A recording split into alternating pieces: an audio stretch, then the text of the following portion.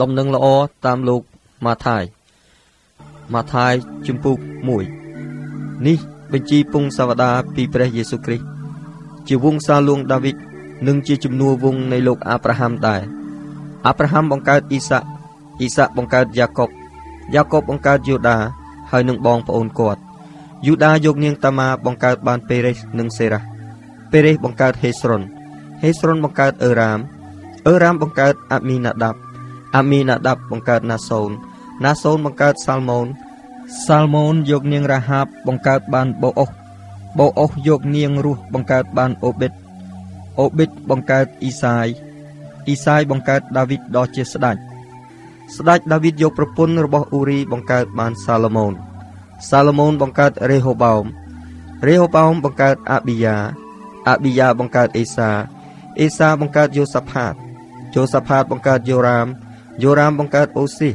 អូសៀបង្កើតយូថាមយូថាមបង្កើតអេហាអេហាបង្កើតអេសេគៀអេសេគៀបង្កើតម៉ាណាសេម៉ាណាសេបង្កើតអាម៉ូនអាម៉ូនបង្កើតយូសៀយូសៀបង្កើតយេកូនីសហើយនឹងបងប្អូនគាត់នៅគ្រាដែលត្រូវនិរទេសទៅស្រុកបាប៊ីឡូនក្រោយដែលត្រូវនិរទេសទៅស្រុកបាប៊ីឡូនហើយនោះយេកូនីសបង្កើតបានសាលធៀលសាលធៀលបង្កើតសូរ៉ូបាបិលសូរ៉ូបាបិលបង្កើតអាប៊ីយុត អាប៊ីយុតបង្កើតអេលៀគីមអេលៀគីមបង្កើតអេសូអេសូបង្កើតសាដុកសាដុកបង្កើតអេគីមអេគីមបង្កើតអេលីយុតអេលីយុតបង្កើតអេលៀសាអេលៀសាបង្កើតម៉ាថាន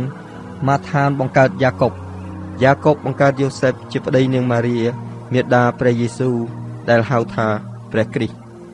ដូច្នេះតាំងពីអាប់រ៉ាហាំដរាបមកដល់លួងដាវីតរួមទាំងអស់មាន14ដំណរតាំងពីលួងដាវីត ដរាបមកដល់គ្រាដែលត្រូវនិរទេសទៅស្រុកបាប៊ីឡូនក៏មាន14ដំណរហើយតាំងពីគ្រាដែលត្រូវនិរទេសទៅស្រុកបាប៊ីឡូនដរាបមកដល់ព្រះគ្រីស្ទក៏មាន14ដំណរដែររីឯកំណើតព្រះយេស៊ូវគ្រីស្ទនោះបានកើតមកយ៉ាងដូចនេះគឺនាងម៉ារីជាមេដាទ្រង់កាលដែលយូសេបបានដណ្ដឹងនាងហើយនោះនាងមានគោដោយព្រះវិញ្ញាណបរិសុទ្ធមុនដែលបាននៅជាមួយគ្នាឯយូសេបប្តីនាង ជាមនុស្សសុចរិត គាត់មិនចង់បើករឿងនាងឲ្យគេដឹងទេ បានជាគាត់គិតលែងនាងចេញដោយសម្ងាត់វិញ កាលដែលគាត់កំពុងតែគិតពីការនោះ ស្រាប់តែមានទេវតានៃព្រះអម្ចាស់លេចមកពន្យល់សពប្រាប់គាត់ថាយូសេបពួយលួងដាវីតអើយកុំឲ្យខ្លាចនឹងយកនាងម៉ារីជាប្រពន្ធអ្នកឡើយ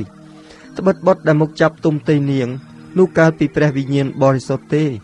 នាងនឹងប្រសូតបុត្រាមួយ ហើយអ្នកត្រូវថ្វាយព្រះនាមថាយេស៊ូវ ព្រោះបុត្រនោះនឹងជួយសងគ្រោះរាសទ្រង់ឲ្យរួចពីបាប ការទាំងនោះកើតមកដើម្បីឲ្យបានសម្រេចសេចក្តីដែលព្រះអម្ចាស់ទ្រង់មានបន្ទូលដោយសារហោរាថាមើលនាងព្រំចារីនឹងមានគរប្រសូតបានបុត្រាមួយ ហើយព្រះនាមបុត្រនោះត្រូវហៅថាអេម៉ាញូអែលដែលប្រែថាព្រះអង្គទ្រង់គង់ជាមួយនឹងយើងខ្ញុំលុះយូសេបភ្ញាក់ពីដេកឡើង នោះគាត់ក៏ធ្វើតាមបង្គាប់របស់ទេវតានៃព្រះអម្ចាស់គឺគាត់យកប្រពន្ធមកនៅជាមួយ តែមិនបានរួមរស់នឹងនាងសោះទាល់តែនាងប្រសូតបុត្រជាចម្បងមក រួចគាត់ថ្វាយព្រះនាមថាយេស៊ូវ